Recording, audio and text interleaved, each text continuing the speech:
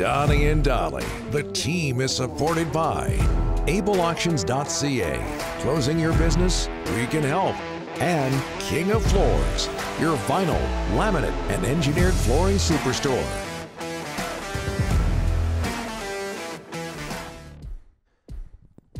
Just ahead of Henrik Sedin, today's guest, Friday, brought to you by Langley Chrysler. They have the vehicle for your next summer adventure, whether you need a Jeep for the beach or a Ram for the fam.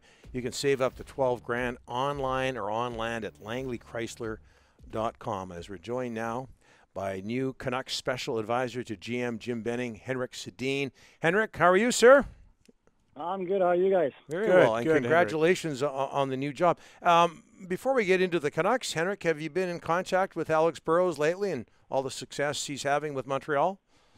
I have yes, uh, texting a little bit back and forth. So uh, so no, it's it's great great to see. It's uh, it's a great story uh, to see uh, where where they came from be- before the playoffs, and, and here they are. So it uh, shows you that uh, making the playoffs is uh, Yeah.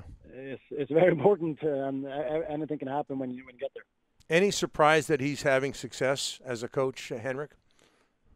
Uh, no, I don't think so. I think I mean uh, he's not the he's not the, the, the maybe the the only reason why they're why they're where they are, but he's uh, he's I've talked about him before, and and you saw right away when he came in, and he's a student of the game. Uh, he sees things on the ice uh, uh, that other other people don't, and and um, so not surprised at all.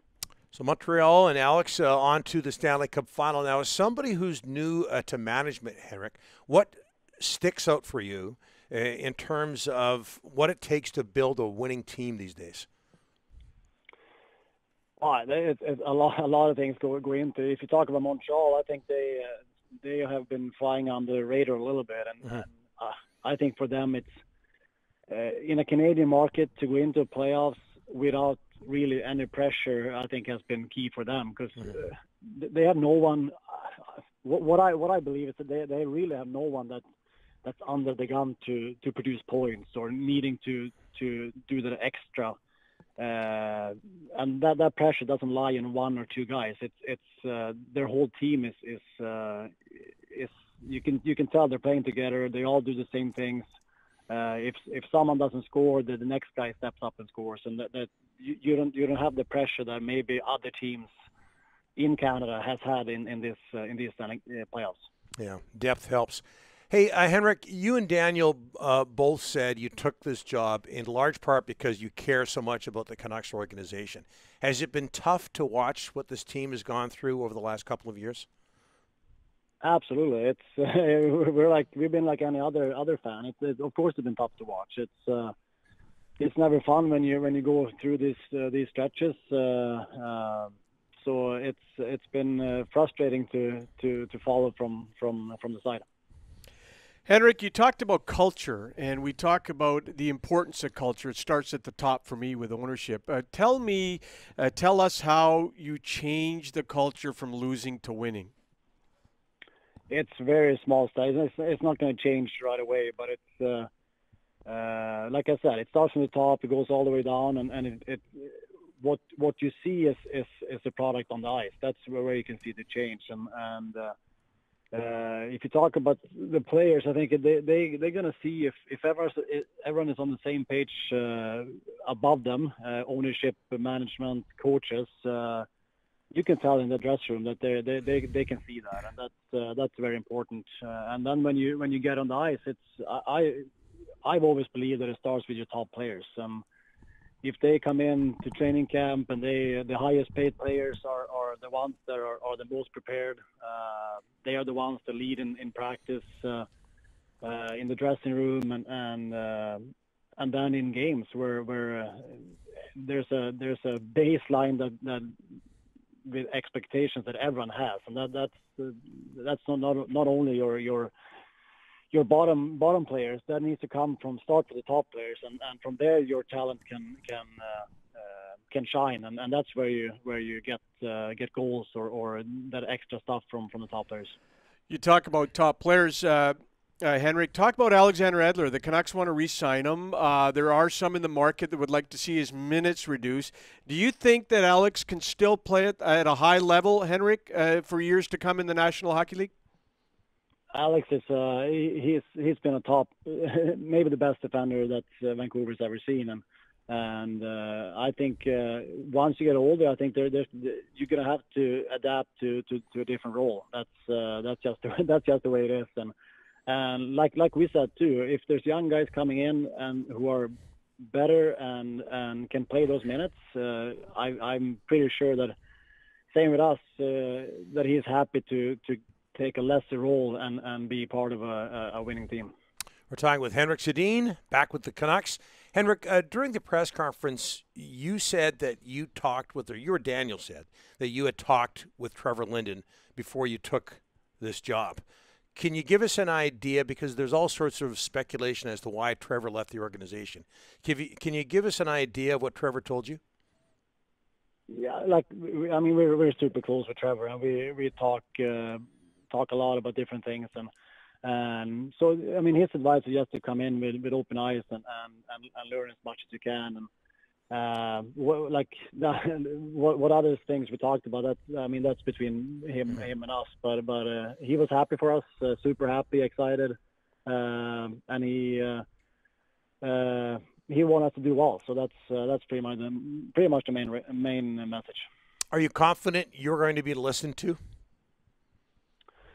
Well, in the role, like like we said, we we're we're going to come in and we we know nothing about this side. We have our yep. we have our, our views on how how you how you create a, a, a culture uh, that's good, uh, where you can start winning games. But when it comes down to like sc- scouting players or or uh, those kinds of things, that that's some uh, something we really have to learn, and and we're we're gonna gonna do that the best we can we're going to tell tell what we think, uh, but in the end, in, in a in a successful organization, I think the the decisions are needs needs to be made by the guy that has to make those decisions. Yep. And, and like I said, we're we're gonna we're gonna get our point across, and then uh, we'll see where where it goes.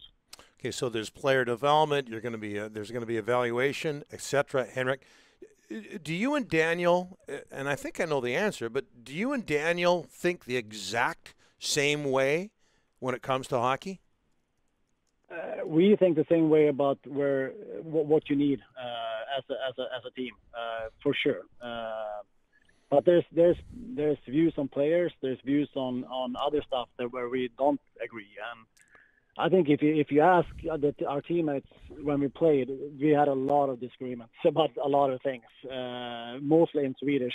so uh, I mean, we, we, we can be pretty upset with each other, uh, but mm-hmm. in the end, we, we, we sit down and we discuss and, and uh, we come up with the best solution going forward. So there, there's a lot of disagreements, uh, but in the end, I think the view on, on building a winning team, I think is the same. Henrik, uh, Abbotsford, uh, the American Hockey League team is only 45 minutes away. It's down the road. You're going to have a big uh, part in there. Uh, patience is a word uh, in hockey. It doesn't matter if it's Bantam or junior or the pros. Uh, when you develop young players, Henrik, what are the keys? You've seen a lot of first round picks come to Vancouver over the years and not make it. You've seen a lot of first round picks make it. You've seen undrafted players make it. What are the keys to development in your eyes? Oh, that's. I mean, that's it's it's it is really important, and I, I think it's tough when you have a bad team because you now you start bringing in players and you put them in a spot where they they're gonna play play out of the comfort zone. They're gonna get more ice time than up maybe up here with the Canucks than they than they should. Uh, you start to build, you start to hype these guys where uh, you think they're better than maybe they are. Uh, but that mm-hmm. comes with like when you not have a winning team, it's it's tough to slot in these players where they should be. So I think that's been tough the last couple of years. Uh, and all of a sudden you, get get into a spot where you have to sign them to maybe deals that are they're not where they shouldn't be. And um, and I think also to, have the team out in Abbotsford, I think it's it's, it's so close.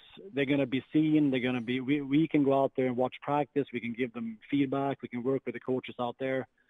Uh, like there's just going to be a, a better communication from the top down, uh, where we, we we all can see them on a daily basis, and that's uh, that's uh, it's going to be great for for this franchise. Do you have a message to the Canuck fans, Henrik? Uh, that it's it's not as bad as as as uh, as people think it is, uh, but there's still a lot of lot of work to that needs to be done, and it's uh, it's not going to be be fixed. Uh, the team is going to be a lot better for sure going forward, but there's uh, and there's like I said, it's not it's not as bad as I think fans think it is. I know you're focused on the job as we as we let you go, Henrik. But but one more, if you don't mind. I know you're focused yeah. on the job uh, in front of you. Does but does a part of you think of the future? Where are you and uh, Daniel going with this? Can you see yourselves uh, moving up in a front office one day? Like I said uh, at the press conference too, there, I, I, think there's we, we, are fully focused on this, and we want to learn as much as possible. And we, we have no absolutely no game plan stepping into this where we where we see ourselves in five years or, or like if, if we enjoy this and we, we think we can help as much as we can, uh, as, as much as we think, then, then, I mean, who knows? But if, if we're still in the same position 10 years from now and we can help this team where we are, we're totally happy. Like we're, we're, we're not, we're not moving from the city. We're, we're staying here. We, we're, we're not going to work for a different team. Uh, and if that's, uh, if this team wants us in 10 years and we, we still have the same title, that's, that's totally fine with us. So, uh, and we'll take it from there. Above and beyond. Thanks so much. Outstanding, Henrik. Again, congratulations. Best of luck. Enjoy the summer.